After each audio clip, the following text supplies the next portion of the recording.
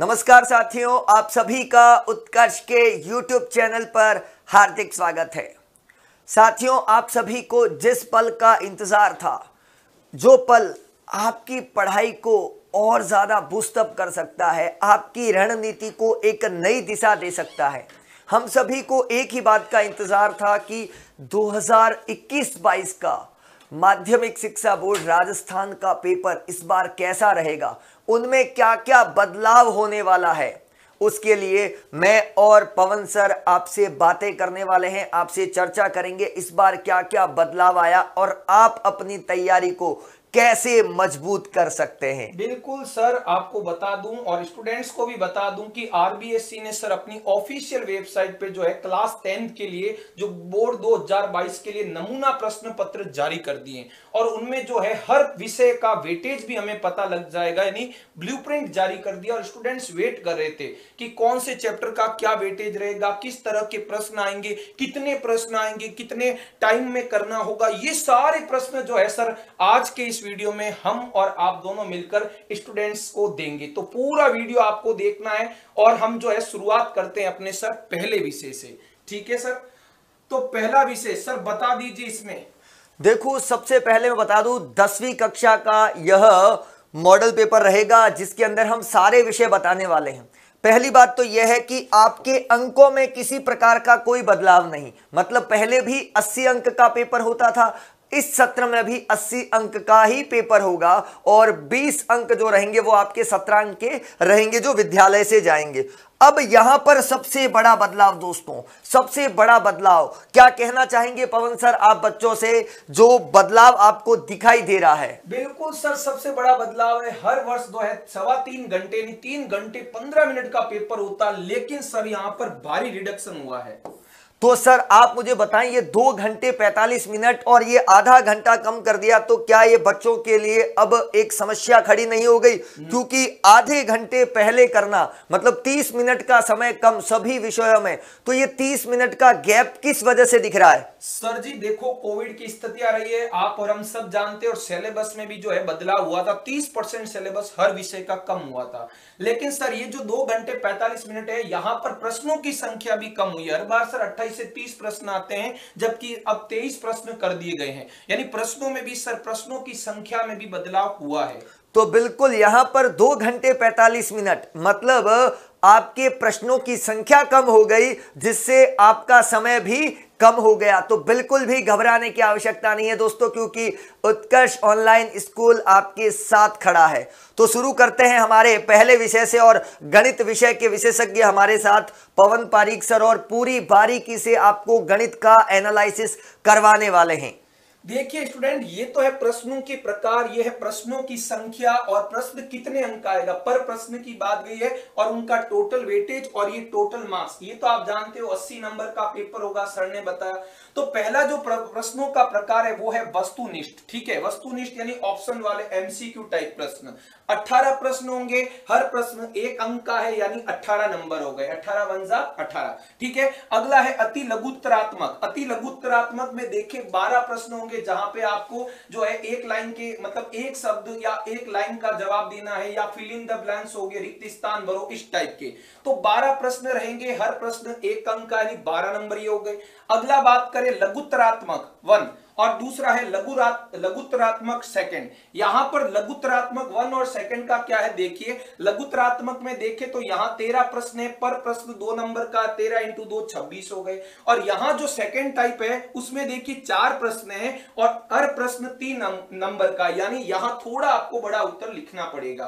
क्योंकि देखो, नंबर देखो, नंबर के अकॉर्डिंग आपको आंसर शब्द सीमा तय करनी है। तो चार इंटू तीन हो गए। उसके बाद बाद में है निबंधात्मक। निबंधात्मक में देखते हैं तो तीन प्रश्न रहेंगे और इसमें आपको अथवा वाले भी मिलेंगे। यानी आपको ये नहीं आता है तो अथवा वाला, नीचे वाला भी आप कर सकते हो। यानी ऑप्शन के रूप में रहेंगे और ये तीन प्रश्न पर प्रश्न चार नंबर का, चार इंटू तीन बारह। और इन सभी को आप यदि जोड़ते हो तो अस्सी नंबर, यानी आपके हंड्रेड परसेंट जो कि आपको लाकर दिखाने आप अच्छे से मेहनत भी कर रहे हो। और बीस नंबर आपके सत्रांक के रहेंगे। ये टाइम भी जो है लगभग टाइम बताया है अपनी वेबसाइट पे आरबीएससी के स्टूडेंट्स को इतना एवरेज टाइम लग सकता है पैंतीस, पच्चीस मिनट। इस पार्ट को पैंतालीस मिनट यानी लगभग एक सौ पैंसठ। एक सौ पैंसठ मिनट लगभग आपके हो जाएँगे, यानी दो घंटे पैंतालीस मिनट। बराबर टाइम बैठ रहा है, ठीक है? और ये परसेंटेज की कितना क्या रहेगा? अब आगे बढ़ते हैं, देखते हैं कि कौन से चैप्टर का सर ये जो है स्टूडेंट को बहुत ज़्यादा रहता है कि किस चैप्टर को ज़्यादा पढ़े,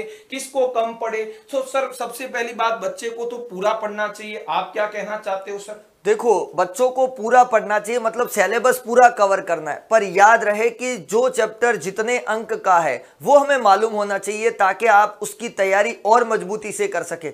आपने छोटा अध्याय जिसका अंक भार कम था, वो अच्छे से पढ़ा। और एक बड़ा अध्याय जिसको आपने सही से पढ़ा नहीं या सोचा कि ये बाद में करूँगा, उसको ध्यान से पढ़ा नहीं तो शायद वहाँ पर आपको बहुत बड़ा नुकसान हो सकता है। तो अंक भार जो है, वो बहुत ज़रूरी होता है, क्योंकि आप एक युद्ध में उतरने जा रहे हैं और आपको ये भी नहीं पता कि मेरे पास कौन कौन से हथियार है और कौन सा हथियार कब काम में लेना है। तो ये बहुत बड़ी स्ट्रेटर्जी है और अंक भार की स्ट्रेटर्जी पवन सर आपको बताएँगे कि यहाँ पर कैसे, किस प्रकार गणित के अंदर क्या क्या अंक भार रहा है और क्या ये उचित है, वो भी इसके बारे में भी पूरी जानकारी जानकारी देंगे। देखिए स्टूडेंट गणित विषय की बात करें तो आपके देखिए पहला अध्याय यानी चैप्टर वन वास्तविक संख्या है। उसका अंक बार चार नंबर, यानी टोटल हंड्रेड परसेंट का पाँच परसेंट लिए बैठा यानी चार नंबर। ठीक है, और बहुत इजी चैप्टर भी है। उसके बाद करें अध्याय दो, बहुपद की पाँच नंबर के प्रश्न पूछेंगे, छह पॉइंट दो पाँच परसेंट। तो परसेंटेज तो आप देख रहे हो, मैं आपको मैन जो है अंक बार बता देता हूँ। अगला दो चरों वाले रेखिक समीकरण युग में बच्चे सर इसको जो है ग्राफ वाले चैप्टर के नाम से भी जानते हैं ग्राफ वाला चैप्टर और वेटेज भी देख लो स्टूडेंट्स, नौ नंबर का आ रहा है, ठीक है? यानी ग्यारह पॉइंट दो पाँच प्रतिशत, ठीक है? अगला है द्विघात समीकरण, यानी आपके a x square plus b x plus c बराबर ज़ीरो रूप वाला पाँच नंबर है, छह पॉइंट दो पाँच। अगला समांतर श्रेणी, बहुत बहुत इजी है सर फॉर्मूले के आधार पर है जो चैप्टर है पूरा और नौ नंबर ये देखो, यहाँ दो चैप्टर्स में वेटेज ज़्यादा मिल रहा है, ठीक है? अगला है रचना, यहाँ केवल कंस्ट्रक्शन करना है, जो जामिति बहुत जो है टफ भी बांधते थे स्टूडेंट्स के लिए जो है जटिल रहती थी, वहाँ देखी बहुत चैप्टर्स कम कर दिए, केवल चैप्टर 11 कंस्ट्रक्शन रचनाएँ, और रचनाएँ में से 11 नंबर के सवाल आ रहे प्रकार पेन चंदा स्केल आपको अब 11 नंबर दिलाने वाले हैं। ठीक है वेटेज भी देख लीजिए तेरह दशमलव सात पाँच। अगला है निर्देशांक ज्यामिति। ये दोनों चैप्टर स्टूडेंट्स जानते हैं फॉर्मूला बेस्ड है। तो निर्देशांक ज्यामिति में भी छह नंबर के सवाल पूछे जाएँगे।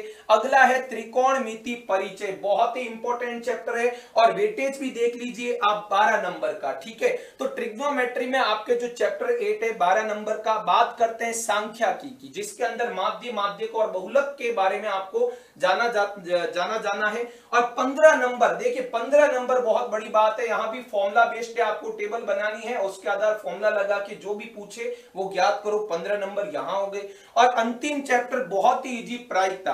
तो प्रायिकता भी चार नंबर के सवाल है, पाँच परसेंट है, और टोटल इनका अंक बार अस्सी है। तो मैथ्स का मैंने आपको पूरा बता दिया चैप्टर वाइज आपको पता लग गया होगा, मुख्यतः आपको ये पार्ट पर ज़्यादा फोकस करना है। पढ़ने तो सारे हमें हंड्रेड नंबर लेकर आने हैं। हमारा जो ड्रीम हंड्रेड का जो सपना है, वो भी पूरा करना है, लेकिन मुख्यतया आपको इन चैप्टर्स पर विशेष फोकस करना है। तो बिल्कुल साथियों ड्रीम हंड्रेड की फौज हो जाओ तैयार, क्योंकि अब बोर्ड ने अपना नमूना पत्र जारी कर दिया है। वो देख सकते हो आप, ये नमूना पत्र इस प्रकार से रहेगा और भविष्य में जो है वो हम इसका हल भी लेकर आने वाले हैं साथियों। तो यहाँ पर हम ये देख रहे हैं कि किस प्रकार के प्रश्न है तो आपको ये इंस्ट्रक्शन दिखाई दे रहे हैं। जैसा कि आप देख रहे हैं, उसी प्रकार देखो, शुरुआत में वस्तुनिष्ठ प्रश्न आपके सामने दिखाई दे रहे हैं, जिसके अंदर आपको चार विकल्प दे रखे होते हैं, चार ऑप्शन में से एक तय करने होते हैं। तो ये विकल्प वाले कुल प्रश्न होते हैं बारह, जैसा कि आपके सामने दिखाई दे रहा है। तो ये बारह प्रश्न आपके सामने जो है, वो वैकल्पिक प्रश्न है मतलब जिसमें चार विकल्प होंगे अलग अलग अध्याय से है, जिसमें आप त्रिकोणमिति देख पा रहे हैं, जिसमें आप मेरे साथ जो है, वो बहुलक देख पा रहे हैं। उसी प्रकार से बहुत सारी ऐसी चीज़ें हैं, जो हम सभी देख पा रहे हैं। तो कहने का भाव यह हुआ दोस्तों कि ये बारह प्रश्न, उसके बाद छह प्रश्न हो गए आपके रिक्त स्थान के। तो बारह और छह कितने हो गए? अट्ठारह। तो आपकी गणित बहुत स्ट्रांग है। अट्ठारह प्रश्नों का खेल आपके सामने आ गया है। फिर आता है अति लघुतरात्मक, जिसमें आपको बहुलक का दिखाई दे रहा है। योग और गुणनफल से संबंधित प्रश्न है। द्विघात समीकरण आपके सामने है, जिसमें आप A X square plus B X plus C पढ़ते हैं। निर्देशांक ज्यामिति, भुज और कोटि साइन थीटा कॉस थीटा त्रिकोणमिति आपके सामने आ गई। प्राइक न्यायिकता जिसमें सिक्के उछालने की बात की जा रही है। माध्य माध्यक बहुलक सांख्य की तो सर आप क्या कहना चाहेंगे? पेपर किस अनुरूप है जो बच्चे देख पा रहे हैं? सर, बहुत ही आसान पेपर है। विद्यार्थियों को तो देखते ही लग गया होगा। बिल्कुल जो है 2022 एग्ज़ाम में टॉप करेंगे और क्रैक करेंगे और इसी तरह का पेपर, इसी पैटर्न पर आधारित जो है आपके बोर्ड एग्ज़ाम में भी पेपर आएगा। यही तैयारी अभी भी आपको अनवरत जारी रखनी है ताकि कोई प्रॉब्लम नहीं रहे। तो स्टूडेंट, बहुत इजी प्रश्न है। बात करते बाघ ब की। ये बाघ अ हुआ। बाघ ब जो है, चौथे प्रश्न से स्टार्ट है। दो दो अंक के हैं, दो सवाल उसके बाद इसी तरह देखो, छठवा, सातवां, आठवां, दसवां, ये सब आपके बाघ ब के अंदर दो दो दो चल रहे हैं, ठीक है? और इसी तरह देखो, दो नंबर में बहुलक भी पूछ रहा है, सीधा फॉर्मूला लगाकर दो नंबर के अकॉर्डिंग लिखना है ना? तो ऐसा नहीं कि बहुलक वाला सवाल पाँच या छह नंबर में, दो नंबर में भी पूछा जा सकता है, प्रायिकता हो गई। अब बात करते हैं पार्ट सी तीन तीन नंबर के, यहाँ देखो ऑप्शन वाले भी क्वेश्चन है। मान लीजिए कोई स्टूडेंट को ये ऊपर वाला नहीं आए तो नीचे वाला भी कर सकते हैं। दोनों एक ही चैप्टर से, लेकिन आप देखिए, आपकी चॉइस है। इसी तरह यहाँ भी दोनों निर्देशांक ज्यामिति पे हैं, यानी चॉइस है आपकी, ठीक है? तो ये बाग सह में हम चल रहे हैं सत्रहवा अठारवा प्रश्न, उसके बाद देखो टिग्नोमेट्री में भी अथवा में पूछे जा रहे हैं, यानी बहुत आपके लिए आसान बना दिया है पेपर, मॉडल पेपर भी आप देखकर कह सकते हैं। इसी तरह बीसवा, अब देखिए बाग द के अंदर ग्राफ, और ग्राफ वाला सवाल चार नंबर का, आलेखी विधि से, और ग्राफ पेपर भी आपको जो है अवेलेबल करवाया जाएगा। और सबसे बड़ी बात देखो, ग्राफ वाले में भी अथवा वाला सवाल हमेशा नहीं आता है, लेकिन अथवा वाला सवाल यहाँ भी, ऊपर वाला सवाल नहीं आए तो नीचे वाला कर लीजिए। उसके बाद देखिए, रचनाएँ में भी ऑप्शन मतलब ऑप्शन वाले सवालों की भरमार है, आप अच्छे से जो है सौ नंबर ला सकते हैं। अंत में देखिए, तेईसवा प्रश्न, जहाँ पर भी माध्य के ऊपर है और अथवा में बहुलक है। अब बस ये लैंग्वेज का यहाँ पर ये बहुलक चार नंबर का है और वहाँ पीछे हमने देखा था बहुलक का सवाल दो नंबर का बस आपकी शब्द सीमा तय करनी है। यहाँ सीधा फॉर्मूला लगाओ, सीधा आप आंसर निकालो दो नंबर। लेकिन वहाँ पर आपको जो बहुलक का फॉर्मूला है एक एक चीज़ आपको फॉर्मूले की लिखनी पड़ेगी कि एल क्या है एफ़ क्या है एफ़ क्या है, ये चीज़ है। बस ये चीज़ का आपको जो है तय करना है कि किस तरह से आपको पेपर को अटेंड करना है। ठीक है? बढ़ते हैं हम अगले विषय पर। हमारे विज्ञान विषय पर, जहाँ हमारे विज्ञान के एक्सपर्ट जो है, संदीप तंवर सर आपके साथ है। अब वो पूरी चर्चा बताएँगे विज्ञान पर। तो साथियों, विज्ञान विषय की बात करूँ तो यह तो सभी विषयों की जननी है और बता दूँ कि अवधि जिस पर पहले ही बात कर चुका हूँ, दो घंटे पैंतालीस मिनट हमारे लिए इस सत्र में मिलने वाले हैं। और अंक भार कितना रहेगा दोस्तों? विज्ञान विषय का भी अंक भार जो है, वह 80 अंकों का पेपर रहेगा दोस्तों। अब यहाँ पर प्रश्नों की प्रकारवार अंक भार बहुत ज़रूरी है। तो सबसे पहले साथियों एमसी क्यूब जो बोर्ड में आमतौर पर देखे गए पिछले साल या उससे पहले के पेपर्स में कम देखे जाते थे, पर इस बार जो आप पढ़ने जा रहे हैं और जो सत्र का पेपर रहेगा आपका, उसमें वस्तुनिष्ठ प्रश्न आ रहे हैं। इसका मतलब है आपके एमसी क्यूब रहेंगे और साथ ही फिलिंग द ब्लैंक्स मतलब रिक्त स्थान भी रहने वाले। तो यहाँ पर आपका 12 प्लस 6 तो 12 प्लस 6 मतलब कुल प्रश्न कितने हो गए? 18 प्रश्न। तो 12 प्रश्न हो गए एमसी क्यूब के, जिसमें चार विकल्प हो गए और छह प्रश्न हो गए आपके रिक्त स्थान के। तो साथियों, प्रत्येक का अंक, एक अंक का पेपर एक अंक यहाँ पर इसका रहेगा और यहाँ पर आप देख सकते हो, संभावित समय भी दे रखा है कि इन 18 प्रश्नों को करने में हमें कितने समय लगेगा। उसी प्रकार अति लघुतरात्मक मतलब छोटे प्रश्न, जिनका उत्तर केवल एक शब्द हो सकता है या बहुत शॉर्ट आंसर जिसको कहते हैं, एक लाइन दो लाइन जिसमें परिभाषा हो सकती है। कोई मात्र सूत्र इस प्रकार के प्रश्न जो है वो अति लघुतरात्मक में रहेंगे और उन प्रश्नों की संख्या जो है वो कितनी है दोस्तों? बारह। और प्रत्येक प्रश्न एक अंक का रहने वाला है। तो इस प्रकार संभावित समय भी हमारे सामने आ चुका है। सत्रह मिनट फिर चलते हैं थोड़े बड़े प्रश्नों पर। बड़े प्रश्नों का मतलब हो गया दोस्तों, लघुतरात्मक प्रश्न। साथियों, लघुतरात्मक प्रश्न क्या है?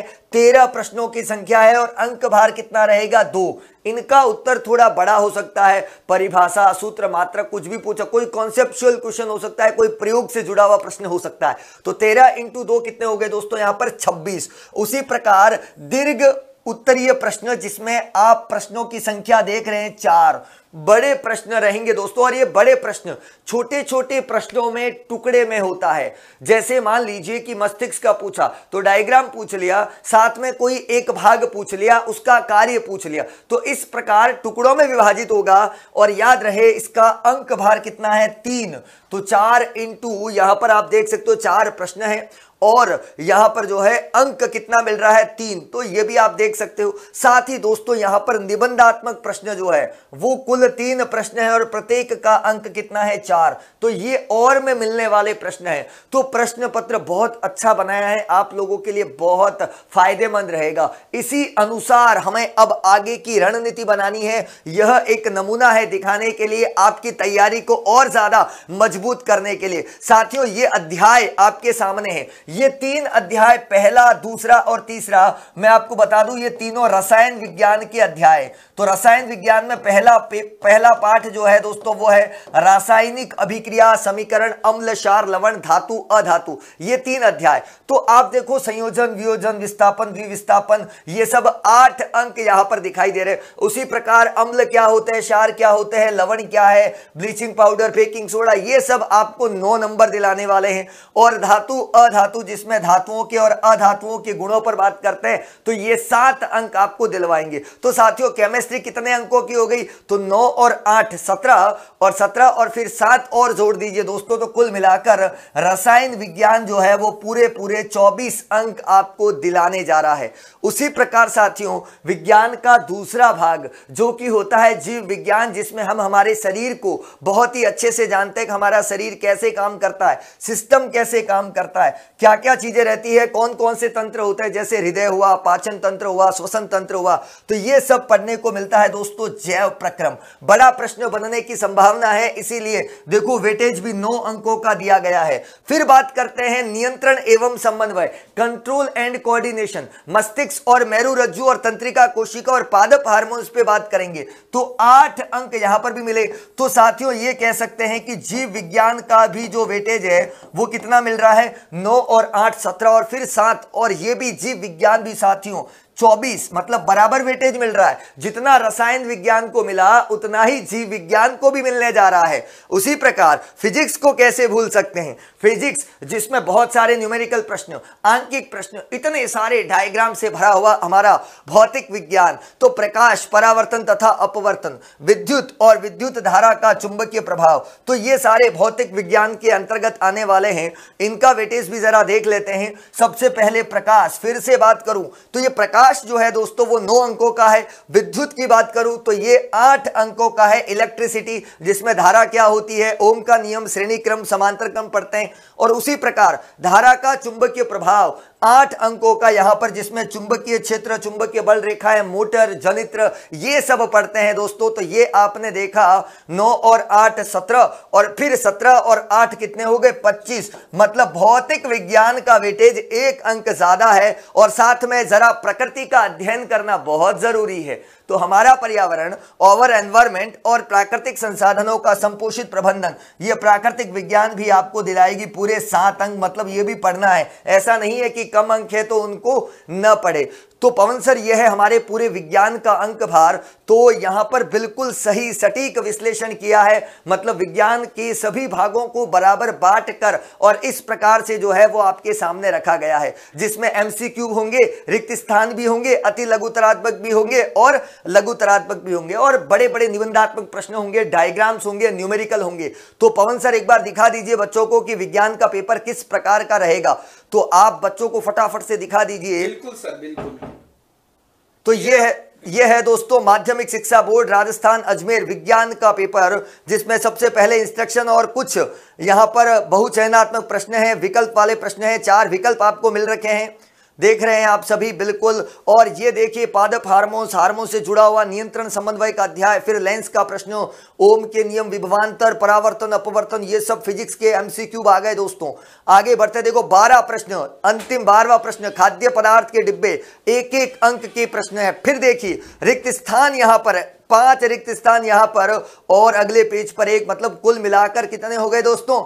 छह प्रश्न मतलब रिक्त स्थान के भी छह चलते हैं अति लघुतरात्मक, जिसमें आप एक शब्द, एक पंक्ति में उत्तर दे सकते हैं। एक अंक मिलने वाला है आपको, इसके भी आप प्रश्न देख सकते हो। कुल बारह प्रश्न हैं। तो बारह प्रश्न, बारह अंकों के रहेंगे ये भी। फिर चलते हैं हम खंड ब की ओर, जिसमें हम वहाँ पर देखेंगे कि अब दो अंकों के प्रश्न, शब्द सीमा भी दे रखी है, पचास शब्दों तक। तो जिस प्रकार आप देख पा रहे हो कि अलग अलग प्रकार के ये पेपर बिल्कुल एनालिसिस करके आपकी परिस्थितियों को ध्यान में रखते हो विद्यार्थी कैसे तैयारी कर पा रहा है, वो सारी चीज़ें देखते हुए। तो ये देखो दो दो अंक के प्रश्न आपको दिखाई दे रहे हैं।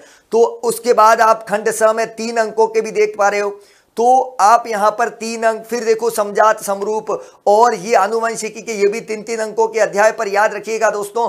और में प्रश्न है, आपको विकल्प भी दे रहा है कि चाहो तो ऊपर वाला कर लो, चाहो तो आप नीचे वाला प्रश्न भी कर सकते हो। बाद में देखो, बड़े प्रश्नों को तोड़ा गया है तो ये टूटे हुए प्रश्न भी आप देख पा रहे हो। तो ये है तो साथियों पूरा विज्ञान का एनालिसिस और कुल अंतिम प्रश्न जो है वो तेबीसवा प्रश्न है। मतलब यहाँ पर कुल प्रश्नों की संख्या जो है वो कितनी रहेगी? तेबीस रहेगी।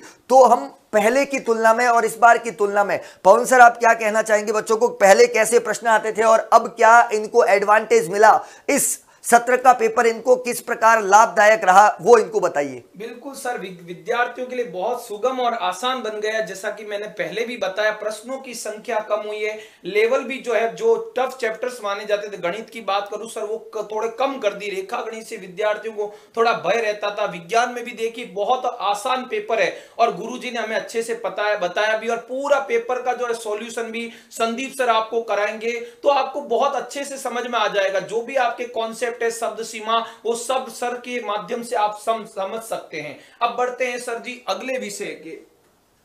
तो अगला विषय सर देखिए। बिल्कुल अगला विषय है यहाँ पर प्रश्न पत्र की योजना है फिर से कक्षा दस यहाँ पर और अब है सामाजिक विज्ञान। दो घंटे पैंतालीस मिनट इसको भी मिलने वाले हैं दोस्तों अवधि वही। पूर्णांक कितना है? 80 अंक मतलब ये भी 80 अंक का है एसएसटी और यहाँ पर सर आपको बताएँगे कि किस प्रकार यहाँ पर लगभग सभी का जो पेपर पैटर्न है वो बिल्कुल समान है। बिल्कुल प्रश्नों का जो अंक बार आप देख पा रहे हो लगातार सम, आ, समान नज़र आ रहा है। वस्तुनिष्ठ यहाँ पर भी आप देखिए प्रश्न 18 एक एक नंबर के 18 नंबर ही हो गए। अति लघुतरात्मक भी देखिए 12 सवाल है। इसी तरह लघुरात्मक फ़र्स्ट और लघुतरात्मक सेकंड यहाँ पर भी देखो तेरह सवाल चार सवाल। सेम गणित में था सेम विज्ञान में है। और अंक बार भी देख लो, तेरह इंटू दो, छब्बीस, चार इंटू तीन, बारह। और निबंधात्मक में की बात करें, तीन सवाल यहाँ भी है, और चार नंबर का हर सवाल है तो चार इंटू तीन, बारह। और अस्सी नंबर ये भी आ रहे हैं, और बीस सत्रह अंक जुड़ के टोटल सौ नंबर आपको लेकर आने हैं। अब किस तरह चैप्टर का रहेगा, हर अंक बार वो सर आपको बता देंगे एस में भी। बिल्कुल दोस्तों तो ये है आपका विषयवार और आप सभी को पता है कि विज्ञान की तरह सामाजिक विज्ञान को भी, क्योंकि आगे केवल सामाजिक लग रहा है, बाकी वही विज्ञान है। तो इसको भी हमने चार भागों में डिवाइड कर रखा है। तो सबसे पहले बात करते हैं दोस्तों, इतिहास की। हिस्ट्री की बात करना चाहूँगा, और उस हिस्ट्री के अंदर आप पढ़ चुके हैं, यूरोप में राष्ट्रवाद का उदय। भारत में राष्ट्रवाद और भूमंडलीकृत विश्व का बनना। ये तीन अध्याय दोस्तों, जो कि इतिहास के माने जाते हैं। बिल्कुल साथियों, ये तीनों आपके हिस्ट्री के अध्याय हैं और जहाँ तक मुझे पता है, क्योंकि चार भागों में डिवाइड किया है तो चारों को 20-20 अंक चारों को मिलने वाले। मतलब इतिहास भी 20 भूगोल भी 20 लोकतांत्रिक राजनीति की बात करूँ तो वह भी 20 और अंत में अगर मैं अर्थशास्त्र की बात करूँ तो वो भी बीस। तो यहाँ पर ये देख सकते हो आप, सात और सात चौदह और छह बीस।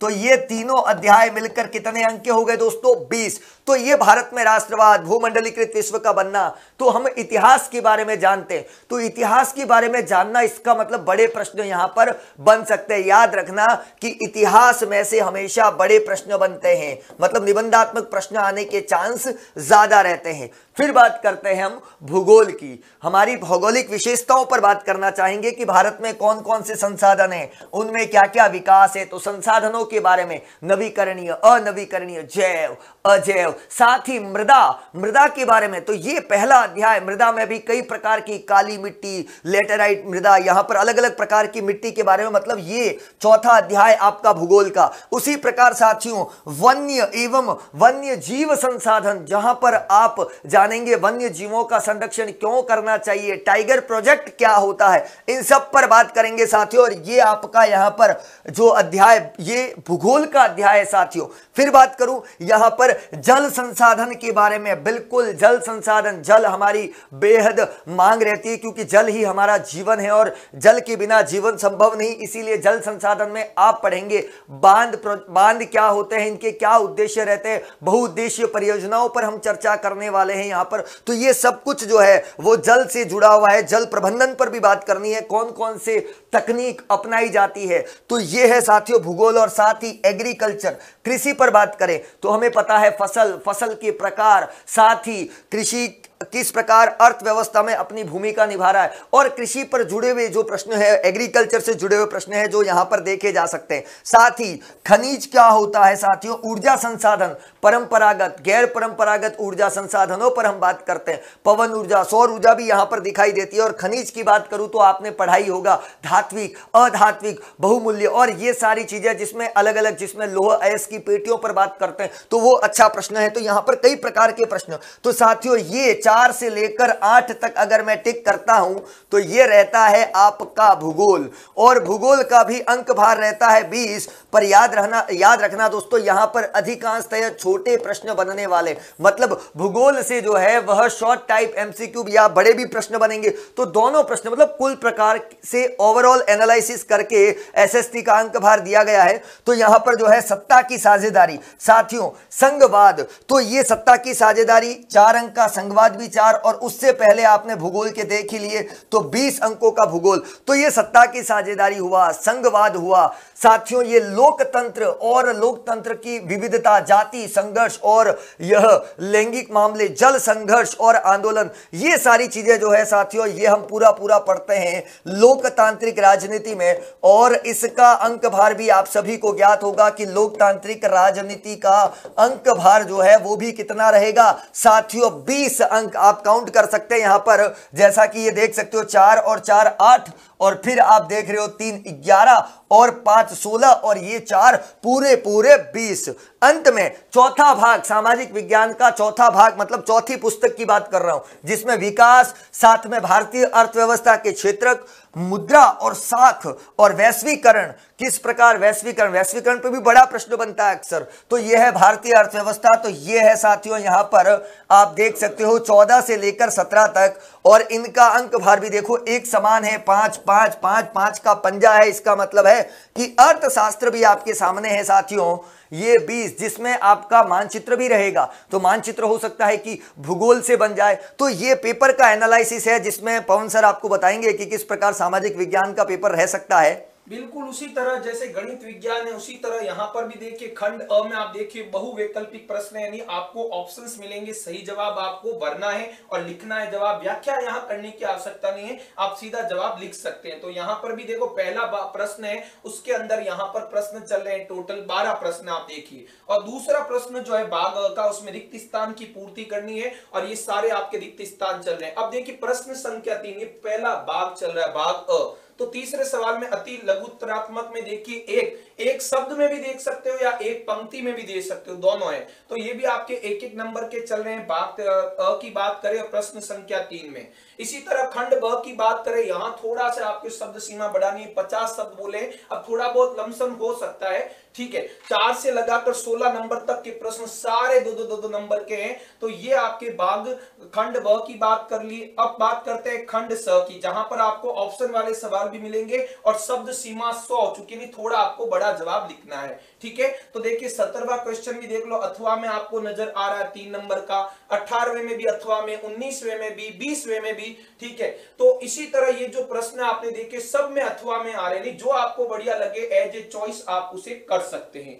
बात करें खंड द की तो यहाँ पर शब्द सीमा ढाई सौ निबंधात्मक प्रश्न है तो आपको उसके अकॉर्डिंग चार चार नंबर के प्रश्न है, यहाँ भी आपको अथवा में नज़र आ रहे हैं, इक्कीसवा और बाईसवा, ठीक है? अब बात करें तेईसवा तेईसवा प्रश्न है तो इसको आपको ध्यान पूर्वक देखना है, मानचित्र है। क्या स्टूडेंट्स मानचित्र है? तो भारत का मानचित्र आया हुआ, ये आपको जो है वहाँ पर दर्शाना, एक प्लस एक प्लस यानी एक एक अंक के चारों है, इनका वेटेज चार नंबर का कुल हो गया है। तो इस तरह का आपका एसएसटी का पेपर है, और पेपर आपने अच्छे से पैटर्न समझ लिया है सर और मेरे माध्यम से, ठीक है? और अब देखो, सबसे बड़ी बात ग्राफ में भी अथवा में, ये देखो ग्राफ में भी अथवा में तो अथवा में एक और ग्राफ ग्राफ है, वो भी इंडिया का ही है, देख लीजिए, आपको चारों आपको इंडिया के मैप में दर्शाने हैं चार नंबर का। तो आप चाहे तो ऊपर वाला मानचित्र, चाहे तो नीचे वाला, जो आपको बढ़िया लगे, जो आता हो, वो कर सकते हैं। ठीक है? अब बात करते हैं नेक्स्ट सब्जेक्ट संस्कृत की।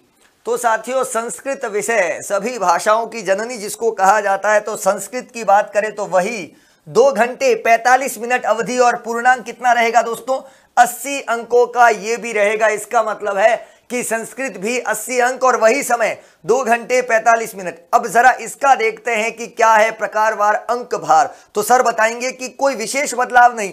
मुझे कोई बदलाव नहीं लग रहा है यहाँ पर। सारे वही वस्तुनिष्ठ, अति लघुतरात्मक लघुतरात्मक, दीर्घ उत्तरी और निबंधात्मक, सारे वही पाँच टाइप के प्रश्न है। अंक का वेटेज भी वही है और 80 नंबर का टोटल पेपर रहेगा। आप इसे अच्छे से फॉलो कर सकते हैं कि प्रश्न कितने क्या रहेंगे। बिल्कुल, ये देखो, वस्तुनिष्ठ आप सबसे देख रहे हो एमसी क्यूब है, रिक्त स्थान है। वही अट्ठारह प्रश्न और एक अंक का। फिर वही अति लघुतरात्मक बारह प्रश्न और कितना अंक भार है? एक। लघुतरात्मक और दीर्घ उत्तरीय। लघुतरात्मक में दो अंक दे दिया और यहाँ पर तीन अंक दे दिया और आखिर में बड़े प्रश्न जो कि विकल्प में दिख रहे हैं। तो यहाँ पर वही पैटर्न आपको नज़र आएगा दोस्तों, कोई बदलाव नहीं है, इसलिए बिल्कुल भी घबराने की आवश्यकता नहीं है। अब किसका क्या वेटेज दिया है, जरा उस पर मैं बात करता हूँ। तो सबसे पहले विकल्प योजना यहाँ पर आंतरिक दे रखा है, विषय वस्तु का अंक भार। तो सबसे पहले पाठ्य पुस्तकात बहुविकल्पात, जो बहुविकल्पनात्मक जो प्रश्न होते हैं, उसकी बात की, उसका अंक भार कितना है? बारह। बारह मतलब इनका प्रतिशत हो गया पंद्रह। फिर उसके बाद जो है, गद्यांश से जो हिंदी अनुवाद करके जो प्रश्न उठाते हैं, उनका अंक भार भी दे रखा है तीन। फिर पद्यांश से जो अपन प्रश्न लेंगे, वो कितने हो गए? यहाँ पर तीन रह गए। तो साथियों, यहाँ पर मैं बता दूँ कि गद्यांश और पद्यांश की बात की जा रही है तो हो सकता है कि इन्हीं में से एमसीक्यू बने। इन्हीं में से आपको विकल्प दिया जाए, जैसे गद्यांश दे रखा है, और उसमें आपको एबीसी वाले क्वेश्चन दे दिए। एबीसीडी वाले मतलब बहुचयनात्मक प्रश्न आपको यहाँ पर गद्यांश से मिल सकते हैं, पद्यांश से मिल सकते हैं। उसी प्रकार पाठ्य पुस्तक के यहाँ पर जो नाट्यांश से हिंदी अनुवाद से लिए गए प्रश्न है, वो कितने हो गए साथियों? तीन। श्लोक जो है, आपको श्लोक जो है, उसका भी दो अंक का वेटेज यहाँ पर दे रखा है और उसका अन्वयम जो लिखना है, उसका भी वेटेज कितना दिया गया है? दो। प्रश्न का निर्माण करना तो प्रश्न निर्माण का भी वेटेज आपके सामने है, दो अंकों का रहेगा। उसी प्रकार एकस्य गद्यांश, हिंदी भाषायाम। सरल लेखनम यहाँ पर इसका भी जो है दो अंकों का वेटेज, और उसी प्रकार अब संस्कृति भावार्थ लेखनम, इसका भी वेटेज कितना है? दो। तो यहाँ पर और अनुप्रयुक्त व्याकरण व्याकरण में आपका सबसे ज़्यादा वेटेज दोस्तों व्याकरण। तो व्याकरण में क्या क्या रह सकता है साथियों? तो व्याकरण में आपकी पूरी संस्कृत की जो व्याकरण जो जो भाग आपके सम्मिलित किए गए तो वो सारे इसमें रहेंगे। तो यह है साथियों, संस्कृत का पूरे 80 अंकों का वेटेज, जिसमें आपको अपठिता अवबोधनम भी दिखाई दे रहा है। कितने अंकों का है? 10 पाठ्य पुस्तक के प्रश्न उत्तर भी है, जिनका यहाँ पर दो। उसी प्रकार संकेत आधारितम औपचारिकम अथवा अनौपचारिकम पत्रम लेखनम, यहाँ पर इसका भी चार अंकों का वेटेज। मतलब ये पत्र लेखन है साथियों, जिसमें आपको खाली जगह दे रखी होगी और उसको आपको फिल करना है कि कहाँ कहाँ पर कौन कौन से शब्द आएँगे तो उसका भी वेटेज आपको दे रखा है चार अंक। और चित्रधारिता मतलब आपको एक एनालिसिस करना है चित्र देखकर तो उसका भी वेटेज यहाँ पर हो गई चार। वार्ता लेखनम, वार्तालाप लेखनम भी यहाँ पर चार अंक का रहेगा, दोनों और में रहेंगे। साथियों, देखो, ये प्रश्न आपको और में दिखाई दे रहे हैं। मतलब ये बड़े प्रश्न हैं, और में रहने वाले हैं। उसी प्रकार हिंदी भाषाया, वाक्यानाम, संस्कृत भाषायाम अनुवाद, इसका भी वेटेज यहाँ पर कितना दे रखा है? चार। और घटना, क्रमस्य, संयोजनम अथवा सुलदेशु वाक्य निर्माणम, इनका अंक भार कितना है? तीन। तो इन सब का अंक भार जो है वो कितना रहेगा? 80 मतलब ये पूरे 80 अंकों का पेपर है। बिल्कुल ठीक। तो पवन सर, कैसा है ये पेपर? और इस बार बोर्ड क्या रणनीति मानकर चल रहा है? एक बार छात्रों को बता दीजिए फटाफट से। बिल्कुल सर, बोर्ड जो है, वो सोच रखा है कि जो विद्यार्थी है, अच्छे से पास होना चाहिए, क्योंकि जो है, उनके सिलेबस में भी बदलाव हुआ है पेपर का टाइमिंग भी चेंज हुआ पेपर पैटर्न भी बदले हैं। कभी भी आपको मालूम हो, सर एमसीक्यू टाइप के क्वेश्चन नहीं आते हैं। लेकिन इस बार जो है कि नई पहल है एमसीक्यू रिक्त स्थान भरने वाले। तो विद्यार्थियों के लिए बहुत जो ज़्यादा है सपोर्ट मिलने वाला है, बहुत अच्छे से उत्तीर्ण ही नहीं, शानदार टॉप भी करने वाले हैं विद्यार्थी। एक बात मैंने यहाँ पर ऑब्ज़र्व की इस बार की एमसी क्यूब के 12 प्रश्न मुझे दिख रहे हैं सब में दिख रहे हैं। यहाँ पर भी देख रहा हूँ 12 दिख रहे हैं मुझे। छह रिक्त स्थान दिखे तो 12 और छह कितने हो गए? 18 उसके अलावा अति लघुतरात्मक प्रश्न भी जो है जिनका उत्तर एक शब्द या एक लाइन का होता है वो भी बारह प्रश्न है। तो बारह और छह अट्ठारह और बारह तीस मतलब तीस अंकों का खेल तो जो है ना वो बिल्कुल छोटे प्रश्नों पर आधारित है। बिल्कुल सर। और तो, अपने आप में मायने भी रखते हैं तीस नंबर मतलब ये हुआ कि अब आपको जो है वो छोटे प्रश्नों पर ज़्यादा टारगेट करना क्योंकि बड़े प्रश्न तो कॉमन रहेंगे वो तो और में रहेगा। तो वो आपको करने में इतनी परेशानी नहीं होगी।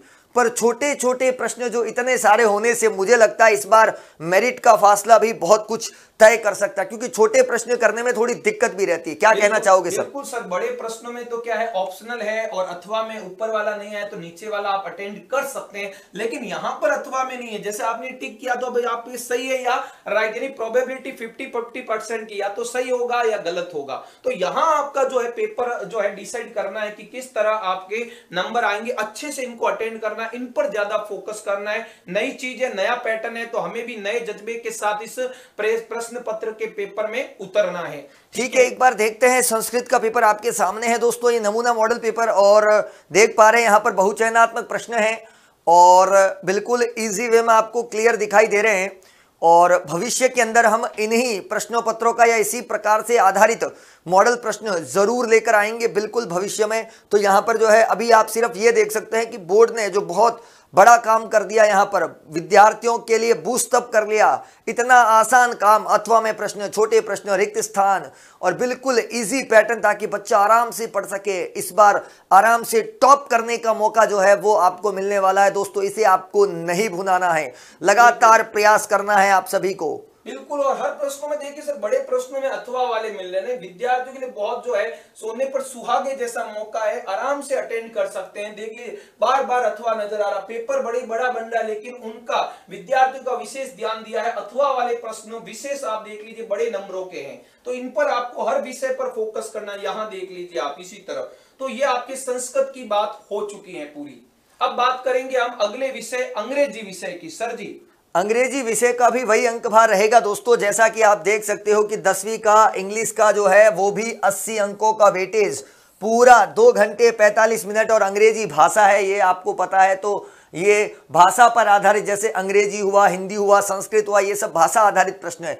तो यहाँ पर डिवीज़न ऑफ़ सेक्शंस जो दे रखा है आपको साथियों, वही पैटर्न यहाँ पर भी फॉलो हो रहा है, जैसे एमसी क्यूब जो है वो वन टू नाइन चल रहा है और इनका नंबर ऑफ़ क्वेश्चन जो है वो कितने हैं दोस्तों? ट्वेल्व और ईच क्वेश्चन वन मार्क्स जो है वो आपको दिखाई दे रहा है। तो यहाँ पर उसका टोटल वेटेज जो है मार्क्स का वो कितना हो जाएगा दोस्तों? पंद्रह वेटेज यहाँ पर रहेगा। या बारह मार्क्स का ये पेपर रहेगा मतलब ट्वेल्व मार्क्स का रहेगा। तो ये हो गया एक। उसी प्रकार साथियों फिल इन द ब्लैंक्स भी आपको दिखाई दे रहा है। और यहाँ पर जो है नंबर ऑफ़ क्वेश्चंस कितने दे रखे हैं? और उनका भी मार्क्स वेटेज यहाँ पर दे रखा है। तो इस प्रकार से आपको वेरी शॉर्ट यहाँ पर मिल रहा है साथियों? और वो भी आपको यहाँ पर कितने दे रखे हैं? नंबर ऑफ़ क्वेश्चन कितने हैं? ट्वेल्व तो इस प्रकार से जो है, अब देखो यहाँ पर जो अंग्रेज़ी के अंदर ये बात मैंने ऑब्ज़र्व की तो जो एमसी क्यूब जो बन रहे हैं, वो पैसेज में से बन सकते हैं। पैसेज जो होता है, आपको एक पैसेज दिया हुआ होगा, जिसको आप हमेशा उसमें से आंसर ढूंढ के लिखने होते थे। पर इस बार क्या हुआ कि पैसेज में से ही एमसीक्यू बनाए जा रहे हैं, क्योंकि एमसीक्यू पैटर्न लागू हो गया। एमसीक्यू के क्वेश्चन आ रहे हैं। तो एमसीक्यू कहाँ से आएगा? विद्यार्थियों के मन में यह भी एक बड़ी शंका रहती है। हिंदी हुआ, संस्कृत हुआ, अंग्रेज़ी हुआ, ये भाषा पर किस प्रकार एमसीक्यूब रहेगा? तो वो मैं आपको क्लियर कर दूँ, साथियों, घबराने की आवश्यकता नहीं है। वो आपको पैसेज में से ही ढूंढ कर बढ़िया तरीके से जो आपको चारों विकल्प में से एक विकल्प लगे, मुझे पूरा विश्वास है कि आपका विकल्प बिल्कुल सही होगा, इसमें कोई दोहराए नहीं। उसी तरह बात करें सेक्शन बी की स्टूडेंट्स तो यहाँ पर भी शॉर्ट आंसर टाइप क्वेश्चन है। शॉर्ट में आपको लिखना है और 10 टू 18 यानी 10 नंबर से 18 नंबर वाले सवाल है और टोटल ये क्वेश्चन हो जाएँगे आपके पास 13 ठीक है? अभी पेपर पैटर्न भी देखेंगे, ये भी कंफ्यूजन दूर हो जाएगा, सर, कितने के, कैसे प्रश्न रहेंगे? अभी आपको इंग्लिश का पेपर भी हम दिखाएँगे। ठीक है? तो तेरह क्वेश्चन है, हर क्वेश्चन दो नंबर का थर्टीन टू जा ट्वेंटी सिक्स है। ठीक है? आगे बढ़ते हैं सी सेक्शन और डी सेक्शन में। तो यहाँ देखिए ऐसे टाइप क्वेश्चन वन और ऐसे टाइप क्वेश्चन टू यानी यहाँ पर ऐसे दिया जाएगा और ऐसे पर आधारित क्वेश्चन होंगे, वो आपको अटेंड करने हैं। ऐसे में से उनके आंसर ढूँढने हैं इस टाइप से। तो 19 टू ये तो क्वेश्चन नंबर है कि 19वें से 22वें नंबर प्रश्न तक, ठीक है? टोटल चार प्रश्न फोर थ्री जा ट्वेल्व और इसी तरह यहाँ पर भी तीन प्रश्न हो रहे हैं सेक्शन डी के थ्री फोर जा ट्वेल्व यानी बारह बारह नंबर के। ठीक है? तो ये आपके यहाँ पर भी अस्सी नंबर टोटल हो रहे हैं और अभी पेपर और जो है सिलेबस भी देखेंगे कि कौन सा चैप्टर किस आ, कितने नंबर का होगा। सर जी।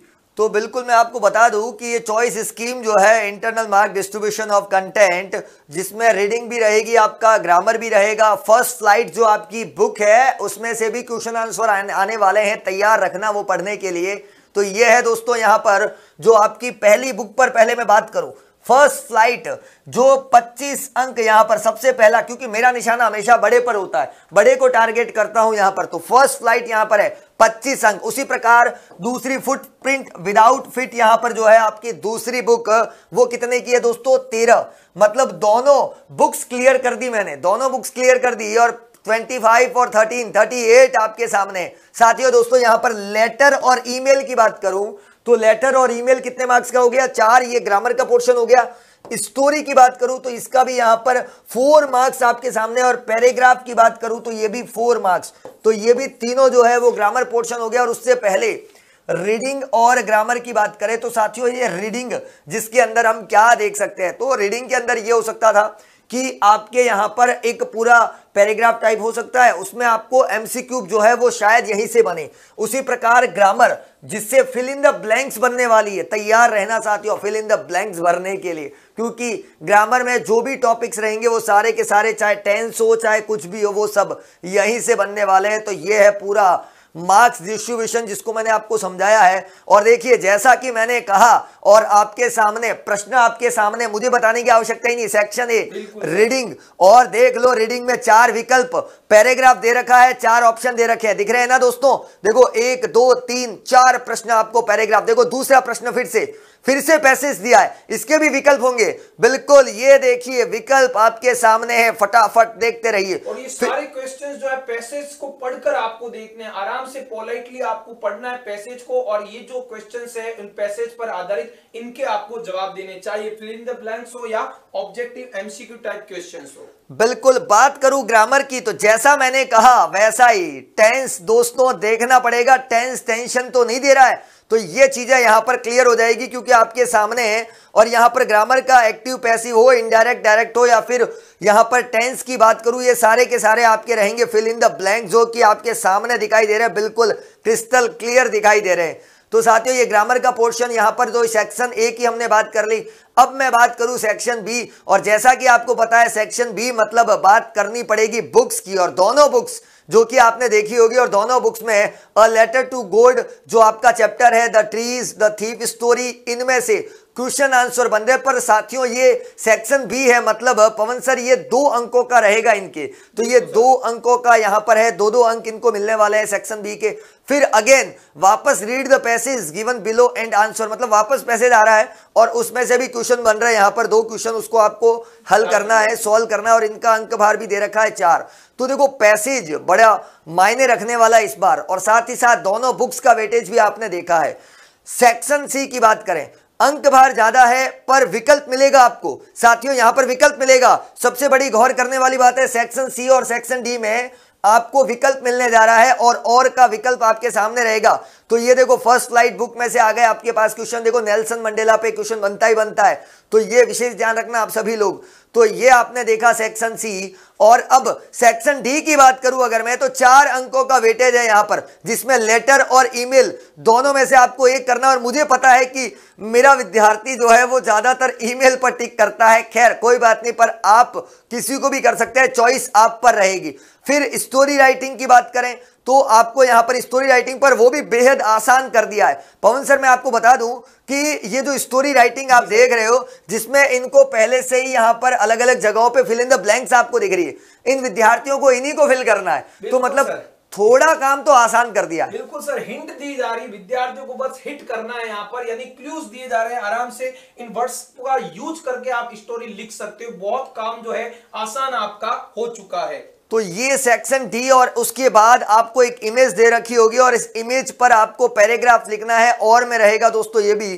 तो आपको इमेज देखकर बताना है कि आप इस पर कितने वर्ड्स दोस्तों वर्ड्स देखना वर्ड्स लिमिट भी दे रखी है 150 टू 200 ये पैराग्राफ आपको लिखना है, जो इमेज आपको दिखाई गई है उसके बेसिस पर। तो ये है दोस्तों इंग्लिश विषय की अपन ने बात कर ली है और आपने इंग्लिश विषय को भली बात जाना जैसा कि मैंने कहा, भाषा के सभी, जितने भी, चाहे तीनों भाषाओं, हिंदी की बात करूँ, संस्कृत की बात करूँ, या अंग्रेज़ी की बात करूँ, इनमें जो पैराग्राफ होते हैं, गद्यांश, पद्यांश होते हैं, उनमें तो आ रहे हैं क्यूब टाइप ग्रामर का जो पोर्शन लिया गया सर जो मैंने बहुत अच्छे से विश्लेषण करने के बाद बताया ग्रामर पोर्शन जो है, उसमें फिल इन द ब्लैंक्स बन रहे हैं। और बुक में से बन गए इनके क्वेश्चन आंसर हाँ सर, विशेष इन चीज़ों पर ही आपको फोकस करना है। जैसा कि सर ने आपको बताया, तीना जो आपके भाषा वाले सब्जेक्ट हैं, उन पर आपको कमांड है और कमांड जो है और अच्छे से आपको दिखा देनी है। अब बात करते हैं अगले विषय की। आपका अंतिम जो है लैंग्वेज और अंतिम विषय आप बात कर लो। आज जो हमने बता दी, बाकी पाँच विषय अब बात करते हैं हिंदी विषय की। तो वही सेम टाइम है दो घंटे पैंतालीस मिनट और टोटल मैक्सिमम मार्क्स यानी अस्सी और आपको लाने भी अस्सी है ना सर? बिल्कुल 80 अंकों का पेपर रहेगा और 80 अंक पूरे लाने हैं साथियों। इतनी तैयारी करनी है और आज से ही रणनीति बनानी शुरू करनी है। तैयारी नहीं करना, इंतज़ार नहीं करना है। सर इसका पेपर पैटर्न भी मुझे तो सेम लग रहा है। बिल्कुल सर सेम वही 18 12 13 बच्चों को याद भी हो गया होगा सर इतनी देर से वीडियो देख रहे हैं तो ये तो याद हो गया होगा और अच्छे से समझ में आ गया होगा किस तरह का पैटर्न है। बस याद ये रखना है कि कौन से चैप्टर से कितने नंबर का व्याकरण कितने नंबर की आ रही है। बस ये आपको जो है लैंग्वेज वाले सब्जेक्ट्स पर विशेष ध्यान देना है और वो भी हम आपको अच्छे से भी बता देंगे। बिल्कुल तो देखो ये विषय वस्तु हमारे सामने आ गई है। सबसे पहले आ गया है अपठित बोध, जिसमें मैंने कहा गद्यांश और पद्यांश। याद रखना दोस्तों एमसीक्यू बनने जा रहे हैं इनमें से। इस बार बिल्कुल बदलाव है। एमसीक्यू बनेंगे इन्हीं गद्यांश और पद्यांश में से। ये व्यवहारिक व्याकरण की अगर मैं बात करूँ तो साथियों तैयार कर लो आप तो। ये जो व्याकरण है ना उसको बूस्ट करना है आपको। पूरे दस अंक यहाँ पर। तो गद्यांश पद्यांश में तो मैं ये मानकर चलता हूँ दस अंक मिल गए। ये कंफर्म है क्योंकि जब मैं छोटा था पवन सर तो मुझे पक्का पता था कि मैं गद्यांश पद्यांश तो कर ही लूँगा। काफ़ी बार तो सर पढ़ते ही नहीं थे हम सोचते थे वहीं पर अटेंड करेंगे और अच्छे से लेकर भी आ जाएँगे। लेकिन आपको ये रिस्क नहीं उठाना आपको अच्छे से पढ़ना है गद्यांश और पद्यांश को और उन पर आधारित प्रश्नों को करना है। वो भी सर अब तो एमसीक्यू आ गए। काम और आसान? बिल्कुल, व्याकरण में जो भी आपके टॉपिक चाहे मुहावरे हो, लोकोक्ति हो, उपसर्ग हो, प्रत्यय हो, अरे नहीं छोड़ना है, एक भी नहीं छोड़ना, टूट पड़ना आप तो। सब पढ़ना है, संधि भी पढ़नी, समास भी पढ़ना। तो ये दोस्तों, व्याकरण की बात कर ली और ये पूरे पूरे दस अंक, चाहे संधि, समास, उपसर्ग, प्रत्यय, जो भी आपके पाठ्यक्रम में है तो यहाँ पर वो सब करना है और पूरे दस अंक। फिर देखो, आ जाओ पुस्तकों पर। तो ये सबसे पहले आपके मैं बता दूँ, आप सभी को पता है, मैं हिंदी नहीं पढ़ता, ना पढ़ाता, फिर भी मुझे पता है कि दो किताबें हैं, जिसमें एक किताब तो यहाँ पर सितिश दिख रही है, और एक डिग्री है कृतिका। ये मैं राजस्थान बोर्ड के विद्यार्थियों की बात कर रहा हूँ, ये भी मैं आपको जानकारी दे दूँ। तो यहाँ पर जो है, गद्य और पद्य सितिज के दो भाग है, एक भाग गद्य है और एक भाग पद्य है। तो दोनों का वेटेज बिल्कुल समान दिया है, और अड़तीस अंकों का वेटेज दिया यहाँ पर सितिज का। और कृतिका जो आपकी बुक है, उसका वेटेज कितना है? दस। तो यहाँ पर दोनों पाठ्य पुस्तकों में से बनने वाला क्या है? यह भी आपके यहाँ पर चिंता होगी, सर, क्या बनेगा इनमें से? तो ज़्यादातर इनमें से प्रश्न उत्तर बनेंगे, छोटे और बड़े। दोनों टाइप के रहेंगे साथियों तो तैयार रहना अब। अब बात करूँ मैं रचना अर्थात निबंध की। निबंध तो आता ही आता है। जब से मैं पढ़ रहा हूँ, तब से निबंध आ रहा है और आज भी निबंध आ रहा है और शायद भविष्य में भी निबंध रहने वाला। सर आप पढ़ते थे तब निबंध आता था क्या? बिल्कुल सर आता था हमसे पहले भी आता था। निबंध तो हमारे लिए एकदम हिंदी में जड़ी बूटी जैसा और अच्छे से लिख के आते थे सर। हमारे जो भावार्थ होते शब्द होते वो हम निबंध में बया करके आते थे। अरे निबंध में भी मैं सर ये बता दूँ जी सर। कि इनको विकल्प मिलने वाले मतलब वहाँ भी चॉइस। बिल्कुल अभी पेपर भी देखेंगे सर, जो सैंपल पेपर आया, वहाँ पर और इनको जो है क्रिस्टल क्लियर हो जाएगा, जैसा कि आप कह रहे हैं। बिल्कुल, विकल्प होंगे, उसमें से एक करना है, कोई बड़ी बात नहीं है। पत्र लेखन बिल्कुल आना ही है, ये भी बहुत पहले से चलती हुई प्रथा है। और साथ ही साथ, जो नई चीज़, जो मैंने ऑब्ज़र्व नहीं की, पर इन दिनों में देखा गया है, आजकल एडवर्टाइजमेंट इंग्लिश में एक वर्ड यूज़ होता है। एडवर्टाइजमेंट तो यहाँ पर जो है विज्ञापन मतलब कोई एक टॉपिक दे रखा होगा, विज्ञापन होगा, पर साथियों, घबराने की आवश्यकता नहीं है आपको। क्यों? क्योंकि और में होगा। तो बिल्कुल नहीं घबराना और ये 80 अंकों का पेपर मतलब ये तो पूरे हमारे हैं, ये मैंने आपको बता ही दिया। अब ये है पेपर जो आपके सामने, और जैसा मैंने कहा देखो, सबसे पहले गद्यांश दिख रहा है और आपको वहाँ पर विकल्प भी दिख रहे हैं। पवन सर दिख रहे हैं ना आपको विकल्प? सर, और मुझे तो ये सब दिख रहा है सर, अनुशासन। यदि विद्यार्थी अनुशासन में इस पैटर्न को फॉलो करता है ना सर तो आराम से सौ नंबर यानी अपने पेरेंट्स का सपना, अपना सपना जो क्लास टेंथ में देखता है कि टॉपर करूँगा, आराम से कर सकता है। अनुशासन ही सर, वो कुंजी है साफ़ साफ़ बोल दिया पैसेज भी इन्होंने आपके लिए, देखो, एक स्टोरी के रूप में आपको एक संदेश देने के लिए ये इन्होंने समायोजित किया है। तो यहाँ पर अपठित गद्यांश है, आपको इस गद्यांश को पढ़कर एमसीक्यू टाइप ये क्वेश्चन है कि भाई गद्यांश का शीर्षक क्या है, अनुशासन कितने प्रकार का है तो वो सब यहाँ पर आपको मिल जाएगा। ठीक है तो ये एमसीक्यू क्वेश्चन हो गए, गद्यांश पर आधारित। उसके बाद देखिए, अपठित काव्यांश भी आया है, इस पर भी आधारित। ये काव्यांश आपको अच्छे से पढ़ना है, और उस पर आधारित भी एमसीक्यू आप देख लीजिए एक एक नंबर के। तो यहाँ पर आप अच्छे से भी विश्लेषण करोगे तो इन प्रश्नों का खोज, यानी उत्तर भी आपको यहीं पर मिल जाएगा। ये बहुत बड़ी चीज़ आपके लिए यहाँ पर है। पर एक बात बता दू, जो एमसीक्यू आप देख रहे हैं ना, जैसे यहाँ पर उचित शीर्षक का दे रखा है। ये बड़ा खतरनाक है, इतना आसान है। पहले शीर्षक आप अपनी चॉइस पर लिखते थे तो शायद गुंजाइश होती थी। पर मुझे लग रहा है अब आपको यहाँ पर ढूंढना पड़ेगा और बिल्कुल सही सटीक निशाना होना चाहिए, क्योंकि सारे शब्द मैं देख रहा हूँ बिल्कुल करीब के शब्द है। तो इतना आसान मत समझना दोस्तों, हिंदी को हल्के में मत लेना, वरना बिंदी लगते हुए समय नहीं लगेगा। तो ये विशेष ध्यान रखना आप लोग। इसी तरह देख लीजिए स्टूडेंट्स आगे इस पर गद्यांश, पद्यांश पर आधारित एमसीक्यू है। अब आप आगे बढ़ते हैं तो देखिए, रिक्त स्थान। सर ने भी आपको बताया था, व्याकरण का वेटेज रहेगा, देख लीजिए आप। ये देखो, संज्ञा आ गया, सर्वनाम आ गया, मुझे दिख रहा है यहाँ पर, और साथ ही यहाँ पर जो है, एक छोटे अंक आ गया, साथ में फिर खाली जगह आ गई, उपसर्ग आ गया, प्रत्यय आ गया। अरे बिल्कुल, जो मैंने कहा ना एज इट इज़ फॉलो कर रहा है मतलब मैंने बड़े ढंग से उसको विश्लेषण करके फिर आपके सामने आया। देखो पहला यहाँ पर संधि समास लोकोक्ति मुहावरे अरे दोस्तों सब कुछ है। हमारे यहाँ पर सब कुछ बता दिया होगा सर ने बिल्कुल क्लियर बताया होगा क्या क्या कैसे पढ़ना है। तो उत्कर्ष के विद्यार्थी इस पेपर को नहीं छोड़ेंगे दोस्तों। फोड़ कर आ जाएँगे। उत्कर्ष के स्टूडेंट्स मतलब यह पेपर उनके लिए बेहद आसान बनने वाला है। बिल्कुल सर। स्टूडेंट्स भी कह रहे इतना सरल आता है क्या सर? ये तो अभी हमको दे दो अभी हाथाहाथी कर लेंगे निपटारा कर लेंगे। बिल्कुल। आगे बढ़ते हैं, खंड ब पर, खंड ब की बात करें तो ये दो दो नंबर के प्रश्न और मुझे लग रहा है कि ये सर इनकी पाठ्य पुस्तक से हैं, है ना?